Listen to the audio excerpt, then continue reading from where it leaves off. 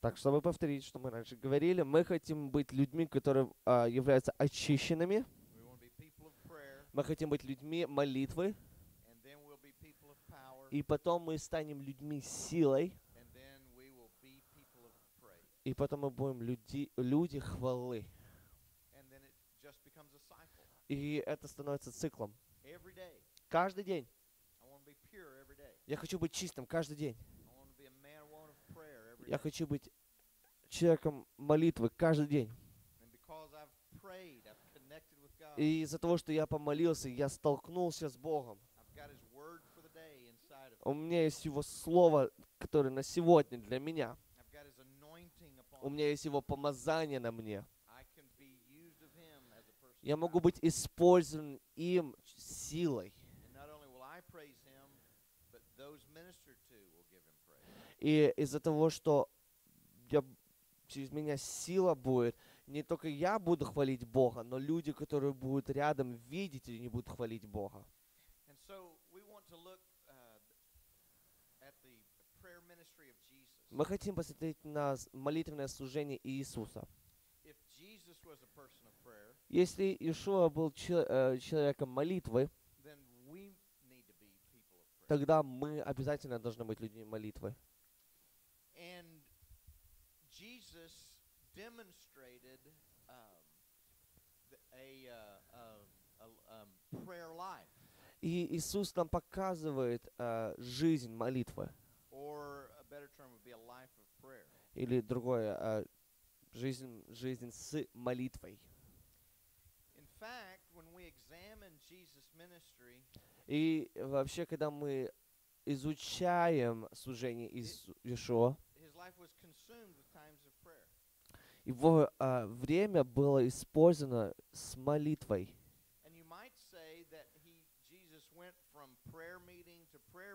Вы можете примерно э, сказать, что Ис- Иешуа ходил с одного молитвенного служения на другое молитвенное служение. И а, он делал служение, и он делал, как бы служил людям среди, э, с- по- посередине этих двух моментов. So that his ministry flowed out of his prayer. Ш- И выходит, что его служение текла из этих служений молитв.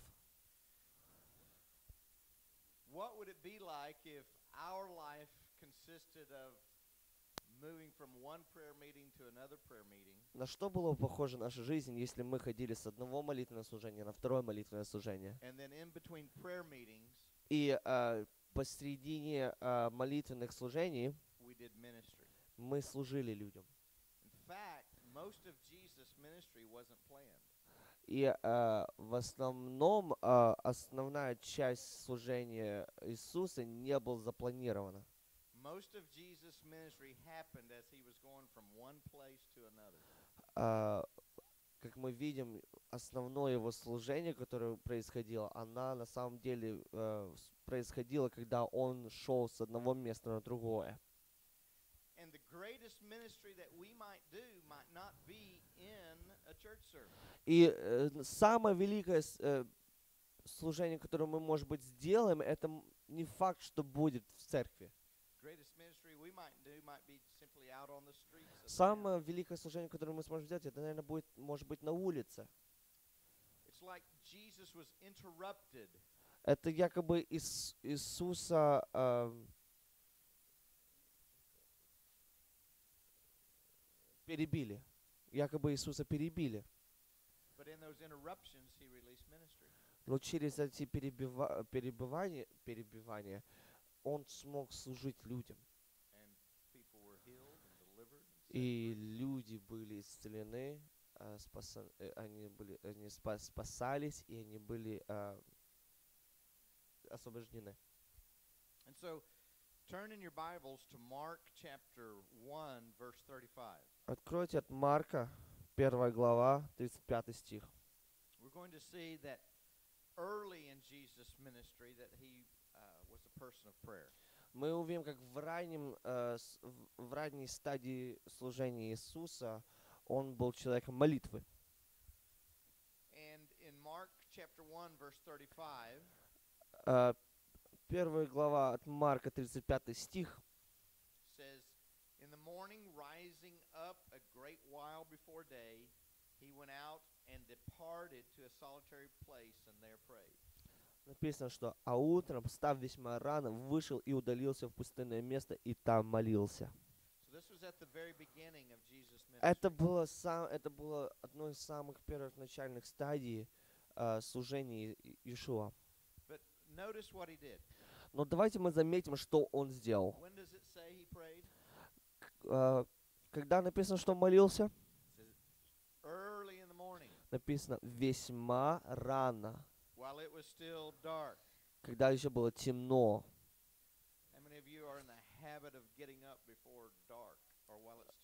Э, кто, у кого это э, в привычку просыпаться, когда еще темно? Но, нет. No. Нет. But it says, Especially, especially when it's still dark, like at 4 a.m., you know? Особенно, когда еще, когда, когда вот начинает еще расцветать где-то в пол пятого, еще четыре, знаете. but notice it says Jesus got up early in the morning. Но тут написано, Иисус стал рано утром. Why did he get up early in the morning? А зачем он встал рано утром? He wanted to spend a lot of time Он захотел а, побыть с Богом долгое время в молитве,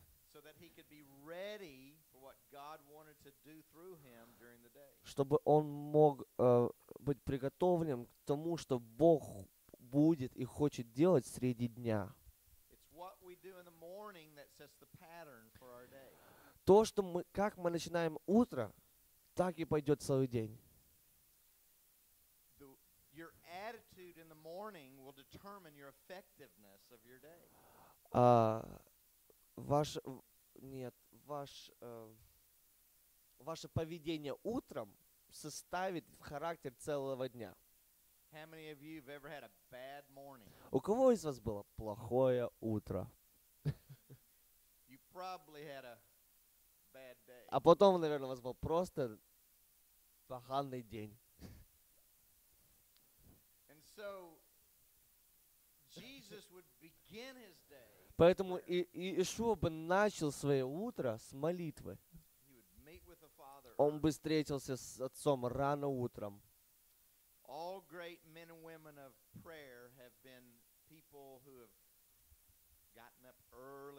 Все великие э, мужья и женщины Бога, они были людьми, которые вставали рано утром, чтобы встретиться с Богом. When Jesus rebuked the disciples in the Garden of Gethsemane, Когда Ис, э, Иешуа дал, сделал замечание э, ученикам э, в, в саду,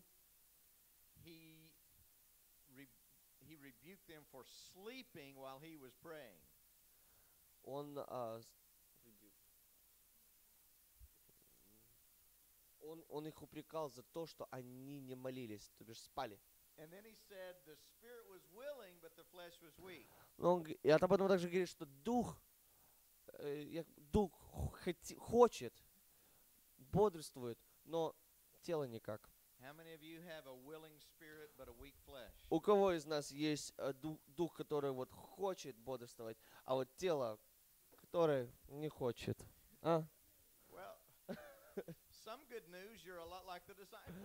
Вот это хорошо, вы, вы как ученики.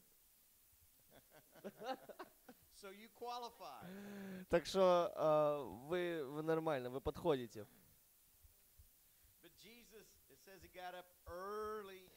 Тут написано, что Иисус стал рано-рано утром, весьма. Один э, муж Бог, Божий в христианской истории, он э, сказал, что у него было столько всего делать, he must get up four hours earlier and pray. что, что он должен вставать за 4 часа раньше, чтобы помолиться. He understood that his prayer life affected his ministry. Он понимал, что его э, молитвенная жизнь э, является эффектом того, как будет его служение. So Jesus started the day with. Поэтому Иешуа начал свой день, начинал свой день с молитвы. But also notice that he didn't just pray um, as he went. He didn't just pray as he as he um, uh, walked down the street. А, Но мы также, но мы можем видеть, что он не просто молился во время того, как он там ходил по городу или э, во время во, во время действия какого-то. kind of А сколько из вас вот молились, ну, во время или по пути?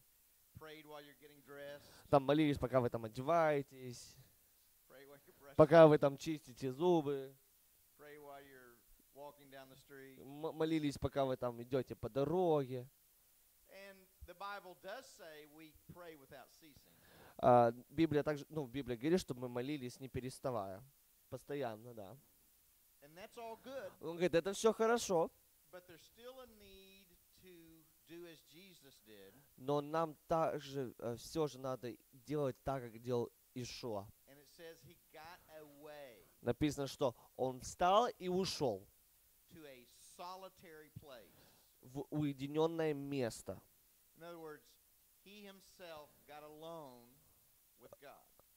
То есть он сам ушел, чтобы быть один-один с Богом в тихом месте, чтобы его не могли а, дергать во время того, как он имеет прич- общение, причастие с Богом. See, when we pray, it's important to engage our whole being in prayer. А, в- Очень важно, что когда мы молимся, нам нужно все наше, все наше я а, быть в, то, в те же руслах, в молитве, чтобы быть с Богом. Body. А, Библия говорит, что мы тело, дух, э, душа и дух.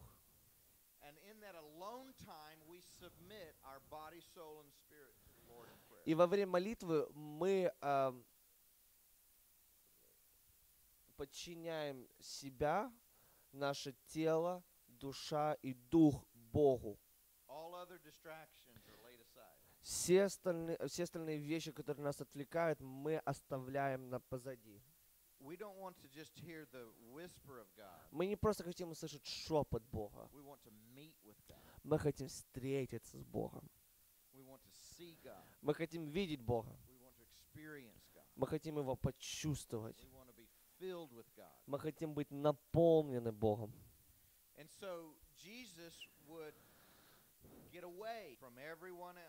И поэтому э, Ис- Иешуа бы уходил, чтобы не быть, э, чтобы его не отвлекали другие люди. Now, sometimes that may be difficult. Э, иногда это может быть сложно.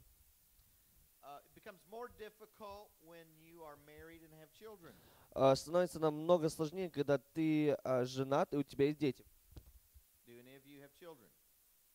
Э, у кого есть дети? У ко- у кого-то есть дети? Uh, her son is older. So then it's easy for you. Тогда вам легко. No children, no noise. Нету, нету детей, нету шума. So you have, it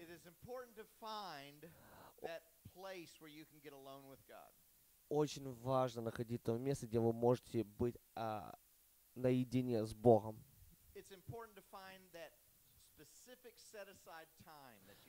И очень важно иметь то, то особенное время, когда вы можете быть едины с Богом. Что мы не просто там пытаемся э, а, пристроить Бога в наш, в, а, в, а, в- в- наш еж- ежедневник, но чтобы мы пристроили наш день вокруг Бога. Это как, э, это, это почти как десятина. что, э, что мы отдаем Богу наше время сначала. Ну, Как бы, что мы даем наше время Ему.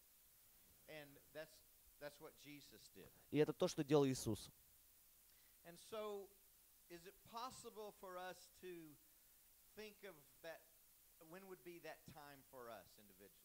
Э, again? Can you think right now of when you could have that set aside time? Вы сейчас можете э, подумать, когда вы, вы можете дать это время Иисусу, Богу? Вы, вы, вы, вы сейчас можете ну, представить, когда вы сможете дать Ему это время? Может быть, вам надо чуть-чуть раньше встать. Вы можете выбрать, что вы чуть-чуть раньше встать. Кто из, кто, кто из вас хочет это сделать? Давайте покажем руки.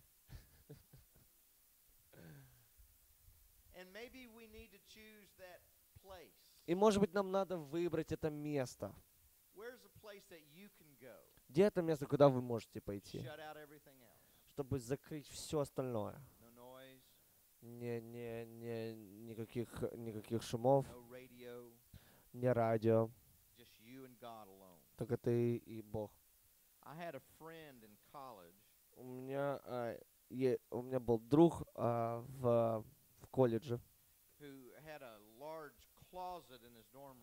у которого был огромнейший шкаф, closet uh, there was this big, uh, this large shelf, и, к- и в этом шкафу был такой здоровый поток- вот полка, здоровая полка.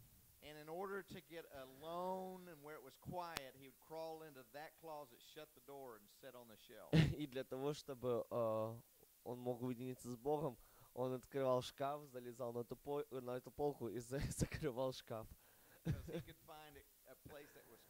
И он находил это место, где это было тихо, и его уединялся, его никто не трогал. Но ты делаешь то, что тебе надо сделать. Потому что мы э, говорим, что это самая выс- высокая, э, что самая высокая должность, которой мы можем э, быть в призвании. So we see that Jesus uh, was a man of prayer at the beginning of his ministry. Поэтому мы видим, э, изначально Иисус был человеком молитвы до начала своего служения. Но мы также видим, мы также видим по- э, посередине э, его служения, что он тоже был человеком молитвы. Look in Matthew chapter 14, verse 23. От Матфея 14 глава 23 стих. 23?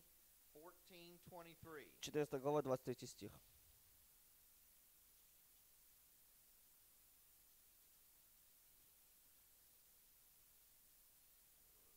After feeding the 5,000, after feeding the 5,000, И после того, как он отпустил народ, Jesus went away to pray again. он вошел на гору помолиться наедине. says when he had sent the multitudes away, he went up into a mountain apart to pray, and when the evening was come, he was there alone. И а, он вошел на гору помолиться наедине, и вечером остался там один. И а, вот это вот то, что случилось, это было а, посередине того, а, посереди, ну как бы во время а, служения Иисуса. Мы видим в начале его служения, он был человеком молитвы, и а, даже посередине его служения он был человеком молитвы.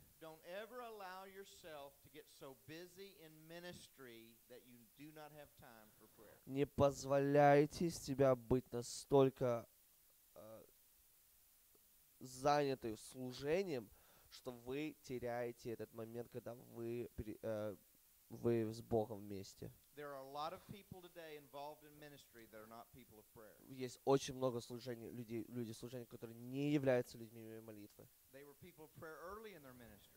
Есть люди, которые начали рано э, в своем служении молиться, и, но когда начало расти их служение, developed, их навыки начали, э, как бы они начали э, э, развиваться, развивать свои навыки, А- они начали больше время э, э, отделять служению, нежели молитвы. Но и, и, и получается, что их служение есть э, у них есть э, форма э, идеальности, фор, как бы форма they правильности, they God. но они не имеют всю силу Бога. And so ministry becomes about what they're doing and who they are. И поэтому служение начинается, э, начинает иметь такое, такое ощущение, что а, оно показывает, кто они, кто являются этими служителями и что они делают. It's all about their ministry. Это все, это все для их служения и все о их служении. And the hand of God is no longer on their ministry И потом мы видим, что рука Божья не на их служении, потому что они перестали быть людьми молитвы. Иисус молился в начале служения и дальше продолжал молиться в служении. И, а теперь мы, давайте посмотрим, когда он тут молится. После великого, э, великого э, чуда.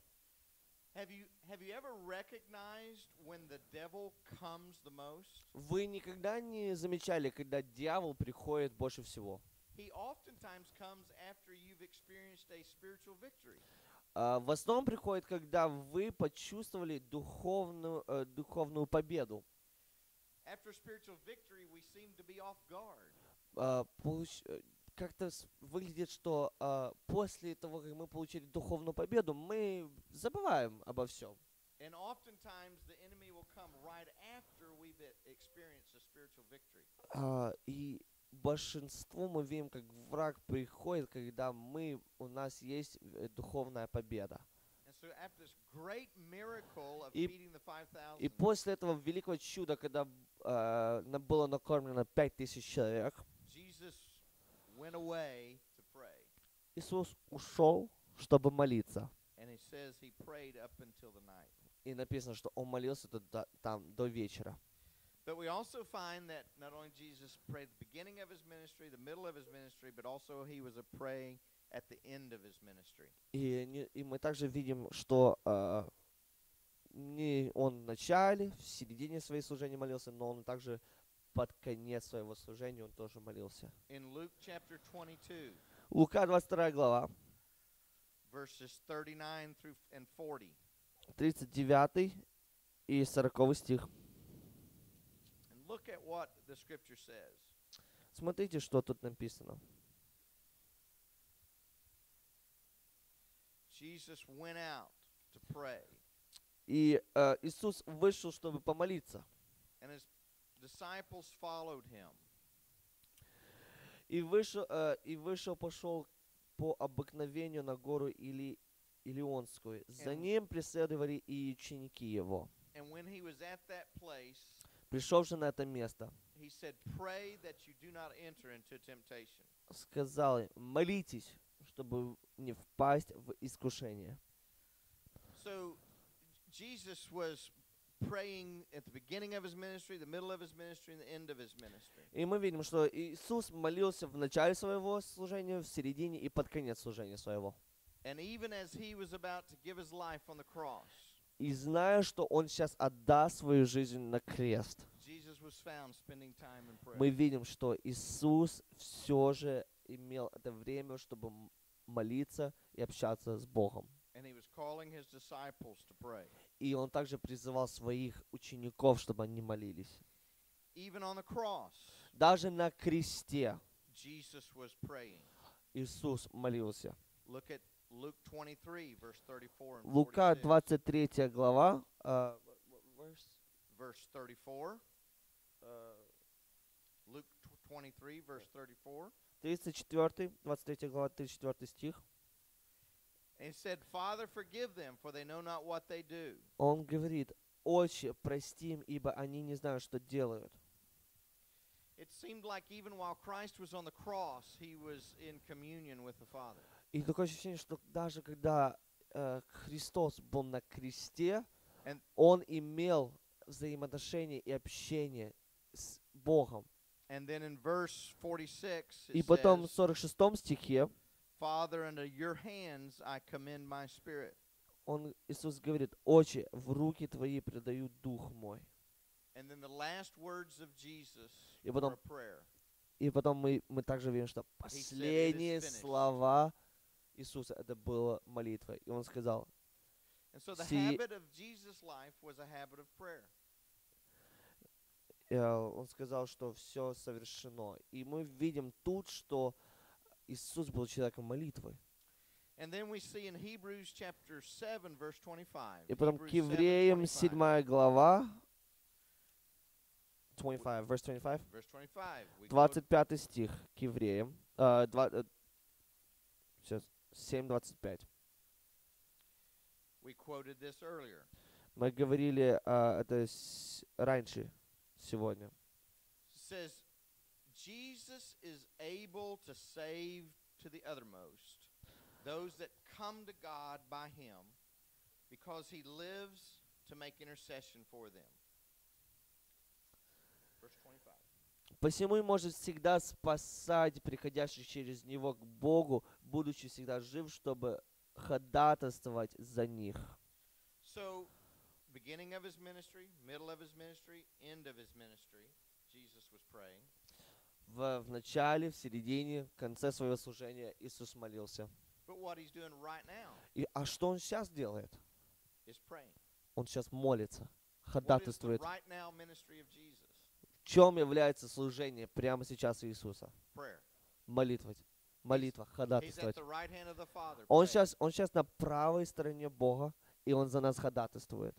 In fact, the scripture says that when he ascended into heaven, he sat down, began to pray, and he's been praying for us ever since.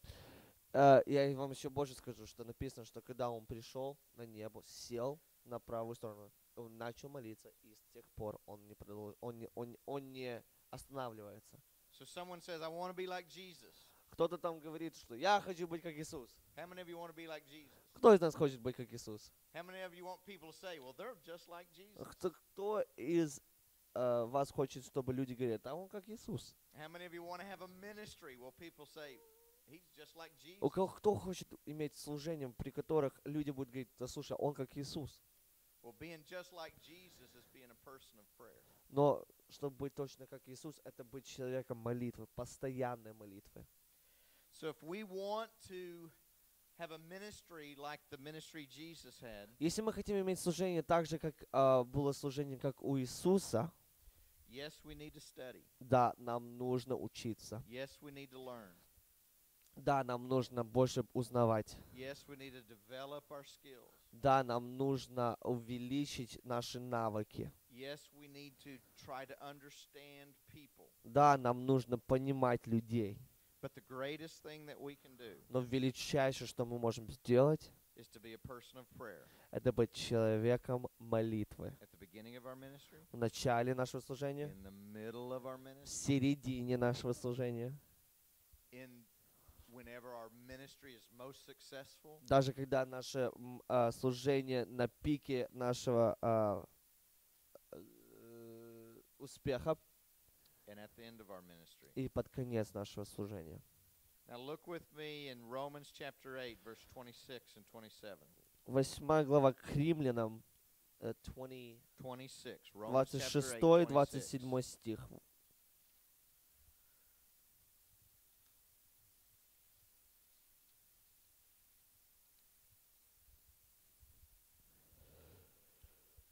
Romans chapter 8, verse 26. К римлянам 8 глава, 28 стих. О, 26 стих. Также, и также, также и Дух. Кто из вас знает Духа Святого? Э, Сколько из вас э, Дух Святой живет в вас, а? Holy Spirit is in you. Дух Святой в вас. Иисус нам дал Духа Святого.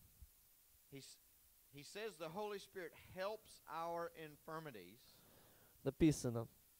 Также и Дух подкрепляет нас в немощах наших, ибо мы не знаем, о чем молиться, как должно. But the Holy Spirit makes intercession for us with groanings which cannot be uttered. Но сам Дух ходатайствует за нас воздыханиями неизреченными, He searches the hearts, knowing what is the mind of the Spirit. испытывающий, испытывающий же сердца знает, Because he makes intercession for the saints according to the will of God. как мысль у Духа, потому что Он ходатайствует за святых по воле Божьей. Мы очень много говорим о служении Духа Святого. Мы знаем, что вот люди должны быть наполнены Духом Святым. Мы э, очень сильно э, радуемся и э, выходим в экстаз, когда слышим о проявлении Духа Святого. We we like to see the Нам очень нравится видеть, как Дух Святой двигается во время наших, э, во время служения, поклонения, прославления. We like to see the power demonstrated by Мы любим смотреть на силу, которую, э, демонстра- э, ну, при которых э, Дух Святой показывает, де- демонстрирует себя. But here, the Apostle Paul is saying the Spirit of God is given to us to help us in prayer. Но тут мы видим, что э, апостол Павел говорит, что Дух Святой нам дал, нам дан, чтобы помочь нам молиться. That that the Holy Spirit cooperates with us as we learn how to develop a life of prayer. Что Дух Святой с нами срабатывается в едино, когда мы пытаемся научиться быть людьми молитвы. It says that the Spirit searches the heart of God. Написано, что Дух ищет сердце Бога. And the Holy Spirit speaks into our heart. И Дух Святой говорит в наше сердце. So that there's a cooperation with the Holy Spirit in prayer. Поэтому есть срабатывание Духа Святого в молитве. Поэтому мы не одни, когда мы молимся. We're not left to our power and strength in order to enter into a prayer life. Мы не остаемся с нашими силами, с нашими, э, э, с, наш, э, с нашим пониманием, когда мы входим в молитву, чтобы встретиться с Богом. Написано, что Дух Святой помогает нам, когда нам э, наших немощах. Кто из нас говорил, что наш, наш дух бодр, а, пло- а плоть слаб? So the Holy Spirit comes to help us in our weakness. Дух Святой приходит в наших слабостях, помогает нам, чтобы мы не были слабы. It, it's not like God is standing back with his arms crossed, Это seeing н- if we're going to pray. Это, это не выглядит так, что ти- Бог стоит сзади, скрестя в руки, и, и стоит и, и думает, и будет смотреть, что, а, ну, когда вы начнете молиться. Он не пытается нас бить палкой над головами, говорит, давайте молитесь. Он говорит, он понимает, что мы, ну, как люди, наша плоть слаба. Он понимает, что дух хочет, но плоть никак. Он понимает, что очень сложно дисциплинировать нашу жизнь.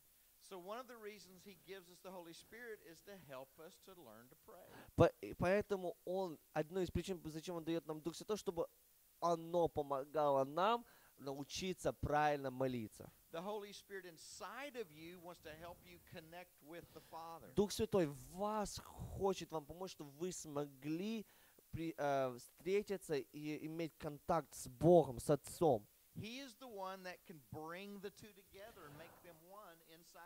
Он, Дух Святой является тем катализатором, который соединяет Бога, Отца, с вами, чтобы вы могли быть одни в вас. Дух Святой дает э, жизнь в ваши сердца.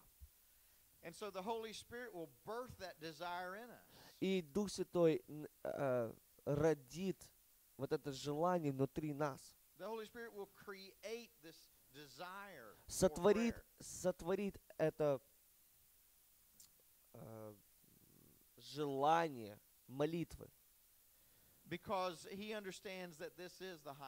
Потому что он понимает, что да, это самое высокое призвание. Now, how many of you know that the work of the Spirit is not just a feeling? А, Кто из вас знает, что а, работа духа это не просто чувство? In other words, if we're going to be people of prayer, we can't say, well, just make me feel like praying. А, Понимаете, вот если мы решили, мы не можем сказать, ну, сделать так, чтобы у меня было чувство, что я хочу молиться. Like. Я буду молиться, когда я буду чувствовать, что надо If молиться. like praying? Если мы реально бы молились, когда мы просто захотели, когда мы почувствовали, что можно молиться, сколько мы бы реально молились? We wouldn't do much praying. Мы бы не делали много молитвы.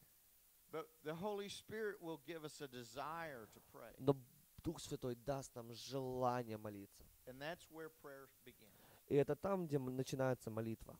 It begins with a desire. Он начинает с желанием. Do you want to see God do great things? Вы хотите видеть, чтобы Бог делал великие э, дела? Do you want to see your life transformed? Вы хотите видеть, чтобы ваша жизнь была трансформирована? Вы хотите быть эффективными в служении?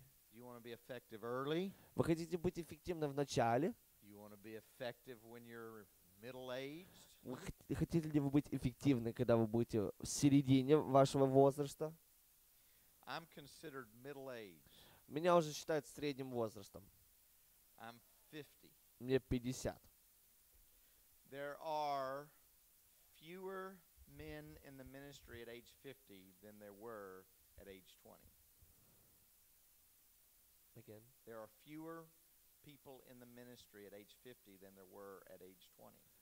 А, есть намного меньше людей в служении, в, а, ну, кому 50, нежели, нежели людям, которые 20. Короче, в общих словах, больше лидеров, которым 20 лет, сейчас в церквях, нежели людям, которые по 50. Statistics say a thousand people, a, thousand ministers a month quit the ministry. Написано, э, статистика того, что, того, что тысячу служителей э, every month, ежемесячно, ежемесячно покидают служение. They get burned out. Они просто истощаются. They lose their effectiveness. Они теряют свою эффективность, They lose their joy. теряют свою радость, It becomes routine. и это становится как э, постоянное. No power in their life. Нету силы в их жизни. They become disillusioned. Они просто уже все, у них не могут. И они сдаются и уходят. Why? Почему? Because they did not continue throughout their ministry Потому что они во время своего служения не жили жизнью молитвы. I sat where you're sitting some 30 years ago. Я сидел там, где примерно вы сидите, где вы сидите сейчас, примерно 30 лет назад. У меня были великие э, ожидания. Я видел себя делая великие вещи. It's going to preach to the masses. Я буду проповед- проповедовать толпе. Going to save the world. Я буду спасать мир.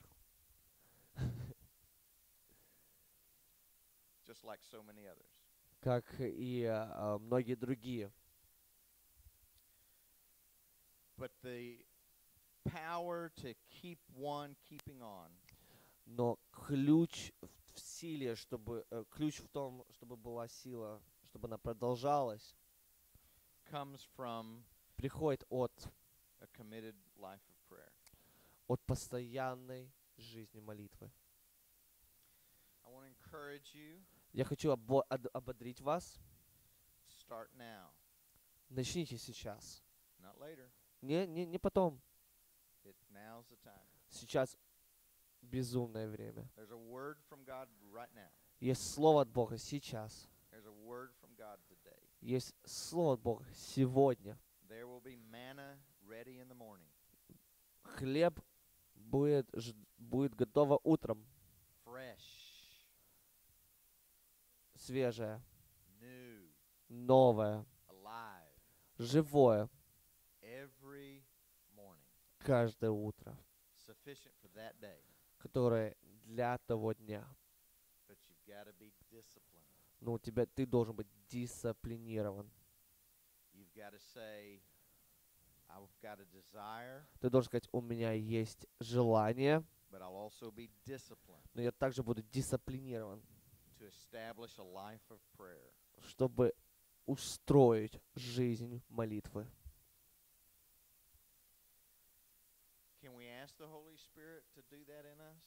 Мы можем попросить, чтобы Дух Святой это сделал в нас. Create in me a desire. Сотвори во мне желание. Дай мне жаждать. Боже, мы хотим, мы хотим, чтобы Ты был намного сильнее, чем моя плоть. Моя. Я выбираю, чтобы распять плоть. Я выбираю, чтобы себя поставить, отдель, отделить себя, чтобы быть жизнь молитвы.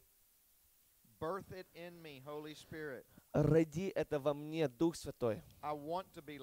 Я хочу быть как Иисус. Я хочу быть человеком, я хочу быть мужчиной или женщиной молитвы. I want to follow Jesus Я хочу следить и, быть, и ходить за Иисусом. and pray as he prayed. И молиться, как Он молится. I want to get alone with the Father. Я хочу уединиться с Отцом. Just me and God. Только я и Бог. I want to enter into his throne room. Я хочу входить в, его, э, в э, в комнату трона. I want to see him. Я хочу видеть I Его. want to know him. Я хочу знать Его. Я хочу слышать Его. Я хочу, чтобы Он меня наполнил. Я хочу, чтобы Он меня дал мне силы. Я хочу, чтобы Он... Я хочу общаться с Ним. Каждый день. Я, хочу быть, я хочу быть измененным каждый день. Я хочу быть наполненным каждый день. Я, я хочу свежий хлеб каждый день. Слово на тот день. Uh. Я хочу быть использованным Богом. Поэтому я себя отделяю to being a person of prayer. быть человеком молитвы. I, I, I choose to set aside other things Я выбираю оставить остальные вещи, so that I can be a person of prayer. чтобы я мог быть человеком молитвы. Thank you, Holy Spirit, Спасибо, Дух Святой, that you help me за то, что ты мне помогаешь in my weakness. в моей слабости. Спасибо, что ты за то, что ты мне даешь желание молитвы. Thank you that you help connect me with God Спасибо за то, что ты мне помогаешь соединиться с Богом and you help me to pray. и помогаешь мне молиться. You help me to pray the heart of God Ты помогаешь мне молиться сердцем Богом and you help me to fellowship with the Father. и помогаешь мне общаться с Богом. Father, Отец, я хочу, чтобы моя вся жизнь была жизнью молитвы. In Jesus' mighty name. Во имя силы, во имя Ишуа. Аминь.